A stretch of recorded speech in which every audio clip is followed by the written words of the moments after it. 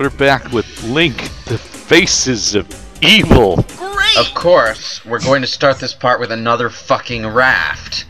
Yep. That is the slipperiest volcano I've ever seen in my goddamn life. Oh, I see. The back door was supposed to come out the right back there, of that so I, I volcano. looked okay. and it was just like, okay, maybe I can go down this way, and it wor- actually worked. I thought I was going to die. How do you do? Yeah. I, I will. I will say I do like that about the environments too. They try to. Well, they try to to have you know environmental cohesion. Like one area leads to another. Like at the beginning of this area was the volcano from the end of the last area. Uh, Uh, I gotta So- take points off though for trying to do depth perception because it looked like the raft was just going up. 3DS step- remake, make it happen. Not after, not not before Majora's Mask. No, totally before Majora's Mask. I want to see those uh, fanboy tears come my way. But we, haven't haven't our haven't our hasn't our life force been sustained enough with the Hoenn fanboys? Oh. Yeah, uh, guys, Gen 3 remakes probably aren't going to happen. Unless you want to spend uh, 18 out of your 30 hour playthroughs surfing. Uh, but I don't know why you'd want to that. that. Aren't you the one who recorded that for us? Um, shush. Thanks for reminding me. I really need to play. I really need to actually get back into Pokemon. I actually haven't played it since Gen 3. That was really the one. And I kind of have Play an Black and White 2. Okay. Yeah. Or Black and White 1. That's I Black and White kind of have an odd bias against Gen 3 because it was just. I don't know if I was kind of burnt out of Pokemon at the time, or if it Everyone was because, burned out like, of uh, you Pokemon at couldn't the time. Transfer your Pokemon over to Ruby and Sapphire from uh, Gold and Silver and Red and Blue. So I fig- So I think what I ended up doing, I was like, all this time I spent was that all for nothing? And I got, and I think I just kind of like got burnt out after that. Yeah, a lot of people I know, including myself, got burned out after Gen 2. Uh, well, uh, you know, I kind of felt like I got a bit reinvigorated when uh, Leaf Green and Fire Red came out. Same here. Mm-hmm. Yeah, it was just sort of gave me back a bit of that passion for Pokemon, and I was a bit more receptive to playing the newer ones. It helps that you could also trade your Pokemon to Gen 3 from that instead. Well, no, trading your Pokemon from Fire Red to Ruby and Sapphire is a colossal pain in the ass. Yeah, Uh, but at least you can keep them. at least you can keep. Oh god, it's these guys. Okay, I'm not gonna try to sing Are you singing the fairy theme or the 60s Batman theme? Yeah. I would was trying actually- to sing the fairies theme, but if Adam West would make this better, then um, I'm all for it. To, to be honest, I think I'd actually prefer the derptastic polygonal fairy from uh or Ocarina of Time to these things. They're just sort of like. I, I don't even know what they're doing. They're just sort of like I don't know. Are they high on something? Because they're just sort of fly, floating around, sort of like stone. I think They're I in the think one of CDI them was games. What are they cross-eyed. gonna do? I Good think one of them was cross-eyed, but um. Oh yes, these things, the flying swordfish. Let's let's just stop to appreciate this. We're fighting swordfish that are flapping their fins to fly in the air. Ironically, this is about the part where I like where I kind of realized I was actually having a little bit of fun playing this game. no, you weren't. It was Stockholm syndrome. Stockholm. Well, Well, if I must give if I must give the game credit for something, the soundtrack's all right. The soundtrack's guilty yeah, pleasure pretty worthy at least. Somebody but uh, really likes the bass. Oh, that's all I got to say on the matter. But uh, relatively speaking, this area doesn't look that bad, like design wise. I look pretty vanilla actually. It's always the music that ends up being the redeeming factor of a shitty game, except Superman 64 and Big Rigs. Big Rigs doesn't count though; it doesn't have any sound. Big Rigs doesn't count as a game. Yeah, uh, the end all be answer, I suppose. Big rigs is what what happens when you leave a, a toddler alone with a development kit for five minutes. I think a toddler can do a better job of making a game than the people who made Big Rigs. Mm. Well, we've already proved that a pack of monkeys can beat Pokemon, so possibly.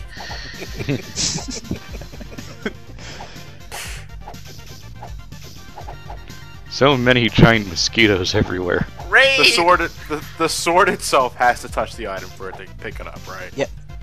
Uh, that's the most bullshit thing. Yeah, So what is it's Link weird, just too, 'cause incapable you can actually attack and completely miss because you're so close to it. Mm.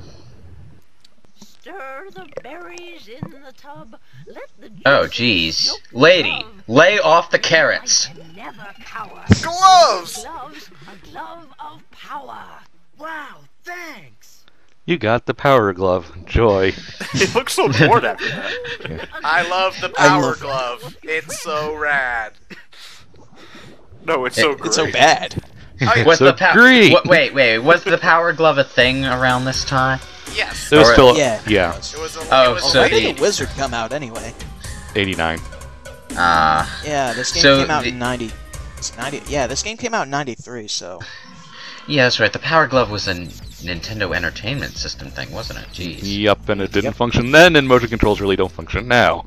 Uh, I'll Motion Plus is okay. Depends Motion Plus is okay. Yeah. Motion Plus is okay. Uh, Wii U isn't bad, from what I can tell. Uh, IR the pointing problem- has been and always will be awesome. no, IR pointing is. IR motion pointing's been around since the 70s, Ted. Not for video games, it hasn't. been. Well, uh, actually, the, the, the the the way it worked back then was different. It was like the screen flashed black or something, and then there would be hitboxes. Yeah, I'm just saying so you IR could point- IR pointing is a tech- in front of in front of a and light bulb, and then you'd always hit that duck. uh, but yeah, the um, uh, what I, my my point was, motion control isn't hopeless. It just it, they made it mandatory way too fucking early. Is all I'm gonna say. And Well, now the big thing is virtual reality headsets. which, have- well, How much is the Oculus Rift? Like eight hundred dollars or something? well, right? Sony announced theirs, so well, Yeah. since we're just going through the Castlevania house fighting pterodactyls again, I guess this doesn't this doesn't this doesn't hurt as a tangent, but virtual reality headsets are really only good for first person games. I'm just I'm just wondering who in uh who in Sony's uh, uh office said you want to know what was an underappreciated How idea? The Virtual Boy. Let's try that. Actually, actually though, no, if you think about it, first person games could benefit from from the headsets with their turning your head to look around thing and all of that. The thing is, since it's a peripheral, I don't think developers are going to give it as much support as it would need to take off that way. And well, it's I, I know where we'll and get it to take off. It's probably just going to be an optional thing. No, not it's- Call of Duty. No, it's probably just going to be an optional thing for games that could function perfectly well with regular controller and television screen anyway. And in that So, case, chances the- are the actual uh, controller is going to be better. Well, the actual controller is what you use to control the thing to begin with, anyway. It basically, The- from what I can tell, the headset would just allow you to look to change the camera. The, the headset is basically like a new resolution for the screen, and you can look around by turning your head, which could be really useful for taking care of one of those pesky first person camera limitations. The fact that you can't look around and keep your gun pointed in the same direction or anything like that. But the fact that it's a peripheral is going to make it so that it controls like a regular game anyway, because developers are going to develop for regular controllers, and Uh, then it sounds like a logistical nightmare. and Yeah. then add Yeah. the the headset support afterward. So Well- while I there's a lot of potential, but I don't see that potential being reached anytime soon. Is all I'm saying. Well, I think the Oh issue God! here is, Imagine like, Wii if Mo- Sony Wii Motion my Plus like, stairs like these to deal too- with. But yeah, No, Wii Motion make, like, Plus a way plus to Oc- actually, um, God, I keep interrupting you. Um, sorry.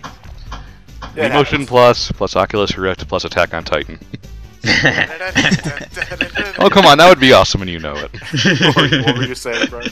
Um, what was I thinking? Like, they, well, the issue, like, if they did decide to make like extra functionality or whatnot for uh, including the, for like say the Rift or something of the sort for developers, and the problem would be that they uh, would not a lot of developers would do it because it would be extra time and extra money to program for something that they couldn't guarantee would work or sell that much. So why even bother wasting the money, and then it will just become a self-fulfilling prophecy. That's why Yeah. there's like four games on the Wii that need the Wii Motion Plus. Basically. Yeah. Yeah. yeah. And then they then they added the Wii Motion Plus into the controller, and it became a bit more prevalent, but not but only a bit.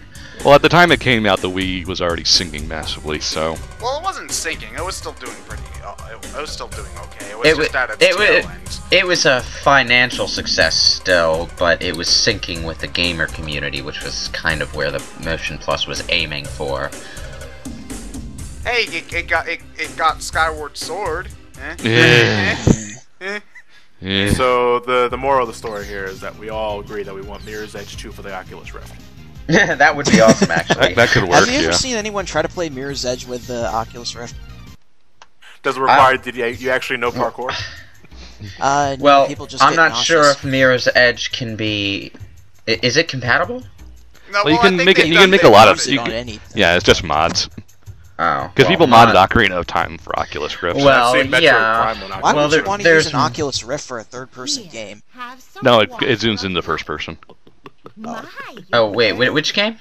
Ocarina of Time. goodness. Ah, right. Um, why would you want to use Oculus Rift for an N64 game? Because it's not Ocarina of Time. Because It- if it, because if it if it exists, you can play Tetris on it. Okay. What? what? And that's why we don't have Ocarina of Time on the Oculus Rift. it screws up your eyes that Yeah. badly. yeah, did you see Link's eyes there? It also turns your mouth into a diamond shape that can't change form. no, I've seen I've seen Metroid Prime on the Oculus Rift. Yeah. You know that- what? that I cool. think the most jarring thing about this game is how much the animation clashes with the with the quote unquote organic look that the that the sprites and environments are are going for. Well, that's because the Russian animators could- had no idea what they were doing whatsoever. I, Uh, I well- love that, that the enemy passed through you and you just kept on stabbing until the enemy just went into your sword. That's the only. That's a very effective logic. way of fighting them, by the way. oh god. It's called the Power Glove in the inventory and it even looks like a Power Glove. Oh boy, another ring pop. What I don't get is why is why Philips would bother endorsing the Power Glove or were they making fun of it? Well, no, I it was it was an item in previous Zelda games. Oh, I see. Square Square endorses the Power Glove. It's a Square endorses the Power Glove with Chrono Trigger, but that was in '96. Wait, what? 96. Yeah, you can get a Power Glove in Chrono Trigger. It's like Oh. one of the first uh, treasure chests you find in the game. Or at Right. least I think it's like when you go back in time for the first time. Yeah, like I, I, I just derped there and thought there was. Wait, did the, did the, did the, did, did, did Chrono Trigger have Power Glove support? Why would you ever play a It was- yes. JRPG with a Power They Glove? didn't make a power glove. Play That's it with like- a super scope. That- that's that's like asking me to play Final Fantasy VI with an Oculus Rift. I mean, what's the point? So then you can play the, the turn-based RPG in first person. So you s- No, you no. have- It's like, it's like when you when you fly the airship, it feels like you're flying. yeah, but that's how many hours into the game? Ah, if you know what you're doing, five. five. Wait, five? Really? John knows what he's doing. No, no, the the part where you automatically where where Setzer automatically flies you to a place doesn't count. You face the foul Six. Insert fiend, Tumblr here. You must conquer Fortress Central, where the treasure of death. That is the most badly designed castle ever. Every tower is a different shape and a different color. Wait, she disappeared and then she's right there again in the middle. Yeah. Just pretend I went somewhere else.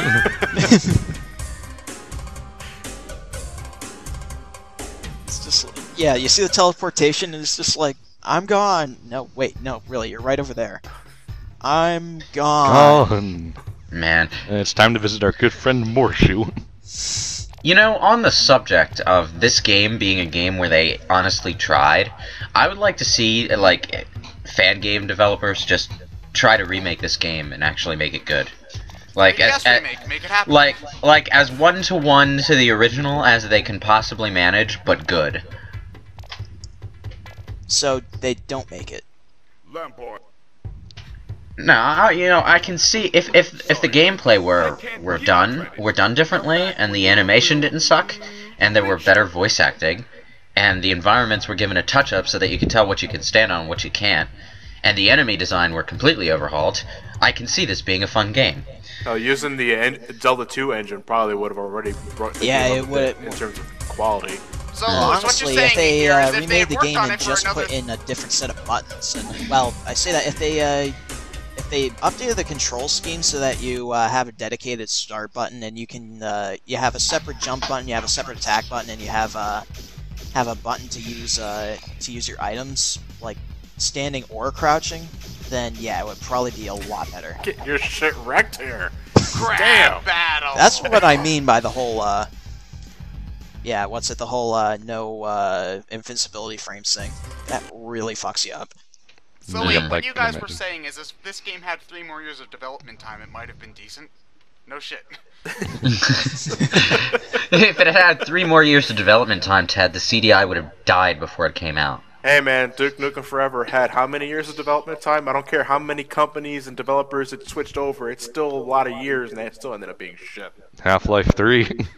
Hmm. No, I wouldn't um, say it was shit. I would just say it came out as well as it would have if it had taken one year to develop. Uh, horribly disappointing, which is almost worse. Well, like to be anyone fair, I think anything would have been be a disappointing. Game.